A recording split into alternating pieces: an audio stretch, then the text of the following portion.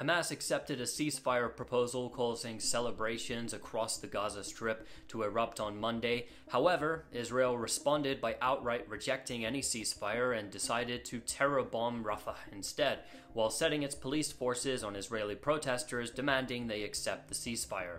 Mediated by Egypt and Qatar, the comprehensive ceasefire proposal was accepted by Hamas in full. US officials anonymously admitted it was almost identical to Secretary of State Antony Blinken's strong deal, which he publicly lauded and urged the Palestinians to accept.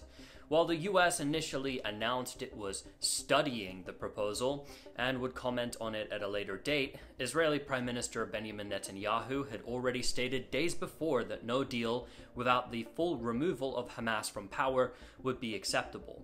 This is just another way of saying that there is no ceasefire they'll ever accept.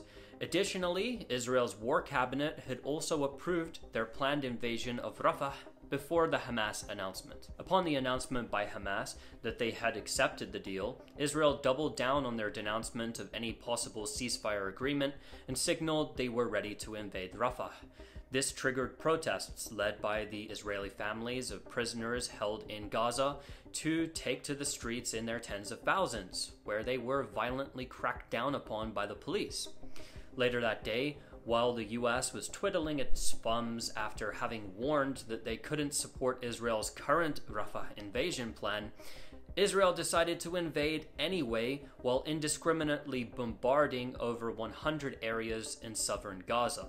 Israeli tanks pushed forward three kilometers towards Rafah and seized the Rafah crossing with Egypt. Israeli soldiers from the infamously brutal Givati brigades posted videos on their social media showing them crushing the Palestinian side of the border crossing with their tanks and replacing Palestinian flags with Israeli ones.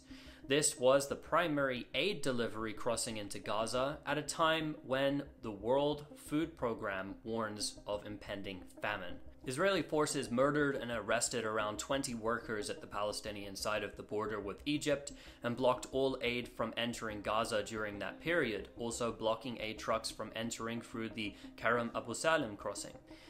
Despite Israel signaling it had abandoned a deal that the US was promoting, throwing away the opportunity to release all of their captives in an exchange deal with Hamas that they had agreed to, in addition to attacking Rafah and clashing with their own protesters, the American response the following day was to pretend as if the whole world and Hamas themselves were wrong and that they hadn't agreed to a ceasefire at all out of excuses and cornered by the fact that Israel is the reason this war continues and the Israeli prisoners aren't released, the Biden administration pretends like what our own eyes and ears tell us is simply an anti Israel illusion.